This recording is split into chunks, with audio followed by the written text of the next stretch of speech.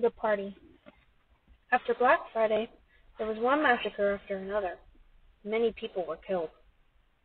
The end of the Shah's reign was near. One day he made a declaration on TV.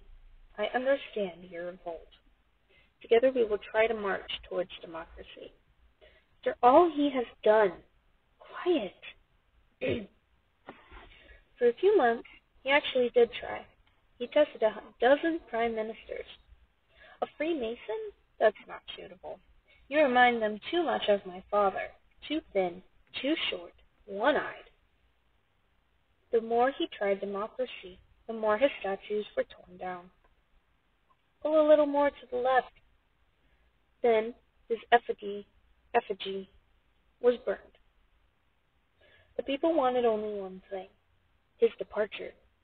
So finally, out, out, out. We will never forgive you, forget you, excuse me.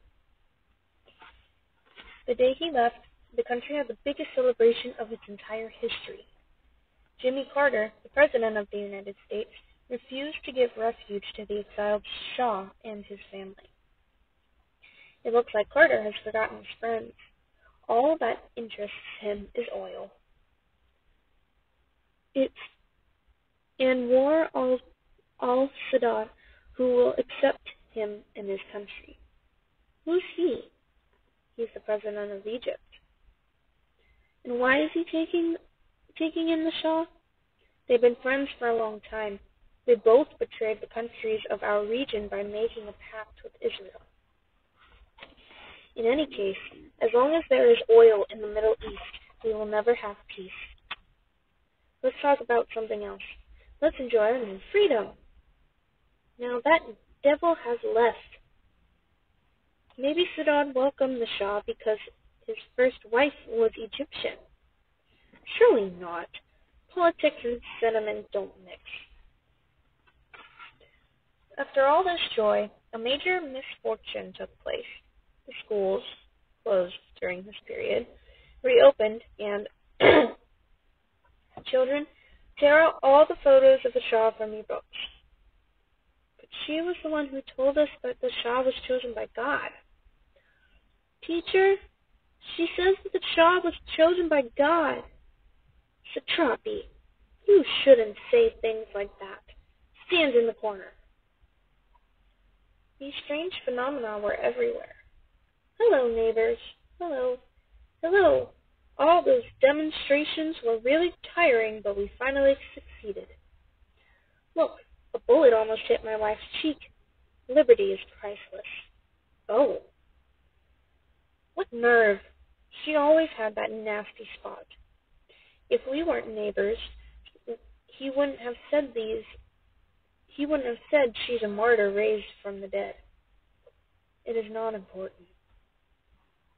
The battle was over for our parents but not for us. My father says the Ramin's father was in the Savak, secret police of the Shah's regime. He killed a million people. A million? In the name of the dead million, we'll teach Ramin a good lesson. Ramin a good lesson. I have an idea. My idea was to put nails between our fingers like American brass knuckles and to attack Ramin.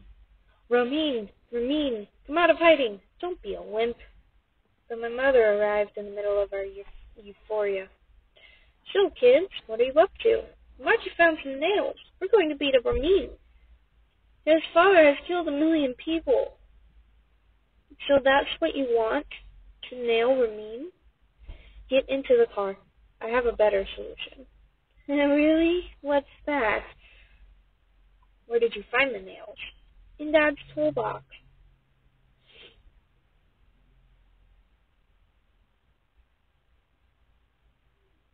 What would you say if I nailed your ears to the wall? Wow, it would hurt a lot.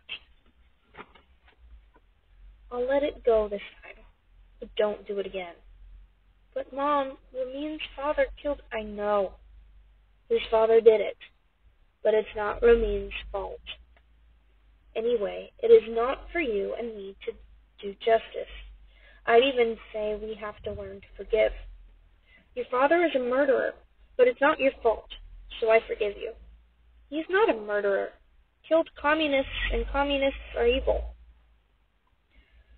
Mom, I spoke to Ramin. He says his father did the right thing in killing communists. My God, he repeats what they tell him. He will understand later. You have to forgive. You have to forgive. I really had the feeling of being someone really, really good.